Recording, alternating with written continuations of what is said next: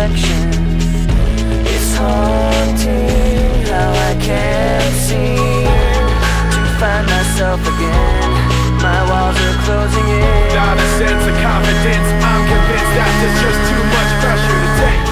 I felt this way before.